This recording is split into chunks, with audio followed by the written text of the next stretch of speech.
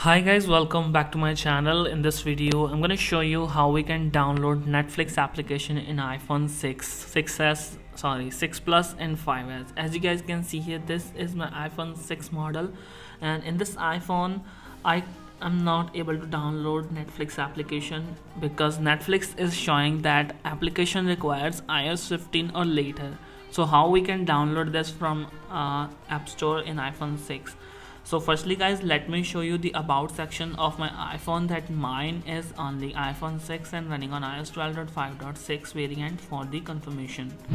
As you guys can see here this is iphone 6 model.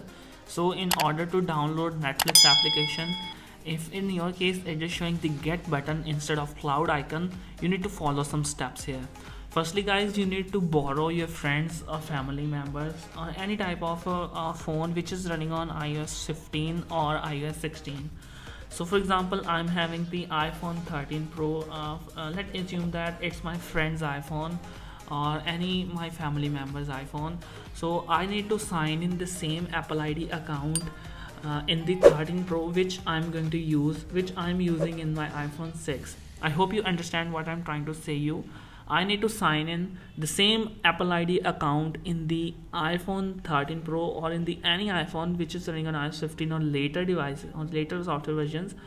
The same Apple ID account which I'm using in iPhone 6 we need to sign in in the upper model of iPhones so that in the same account we can purchase the application through App Store as you guys can see here i'm using the same exact same apple id account in both of the devices. This is my account this is my same account here i have already signed in.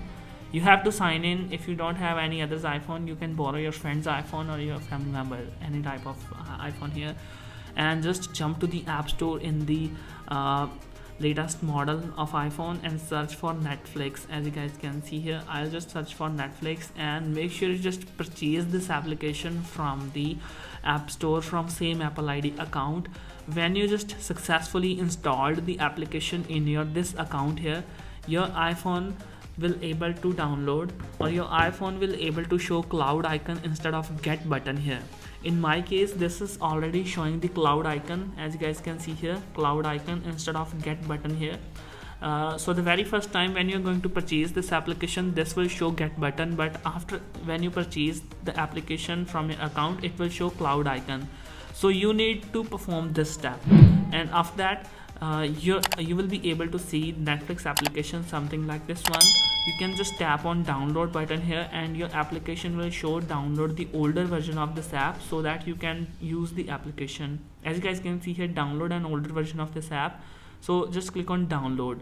If this application is not able to show in the search result if this app is not showing in the search results make sure just go on today section here. Now tap on your apple id account and just jump to the purchase section and in the purchase section you can just search the netflix and netflix will be available to you. This will uh, show the pop-up of this application.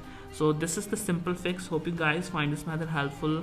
Uh, you can share this video with your friends. Thanks for watching. Stay tuned. And thank you so much guys. Make sure you subscribe to my channel